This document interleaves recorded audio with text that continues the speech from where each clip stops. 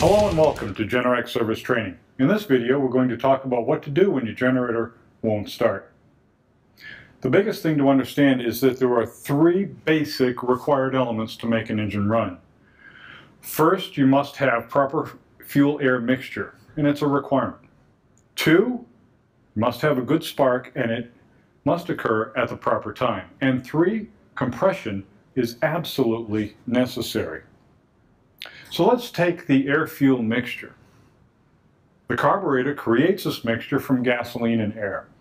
For the carburetor to create this mixture, there must be gas available. If there's no gas, or if the gas is contaminated with water, or if the gas is aged significantly, say 30 to 90 days, the generator likely won't start. Some things to check are, is there gas in the tank? Is the fuel valve turned on? Also, if the air isn't getting to the engine, the air filter could be plugged, restricting the airflow. And this can also cause the engine not to start or to run rough. And some things to check here, is the air filter clean and free of restriction?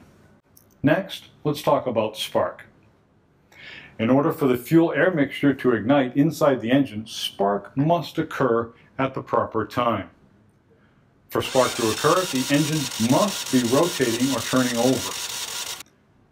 And some things to check here are, do you see a spark? Is it a blue spark? Is it a good spark?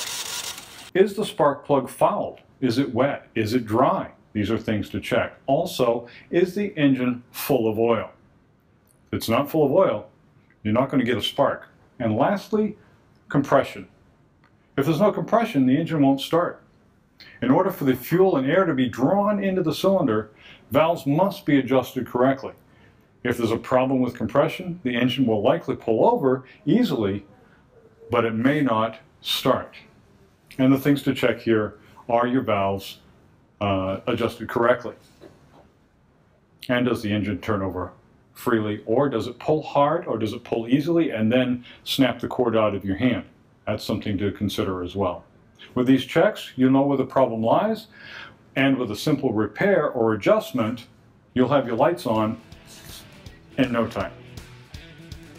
Thank you for watching, and remember, at Generac Service Training, we believe knowledge is power.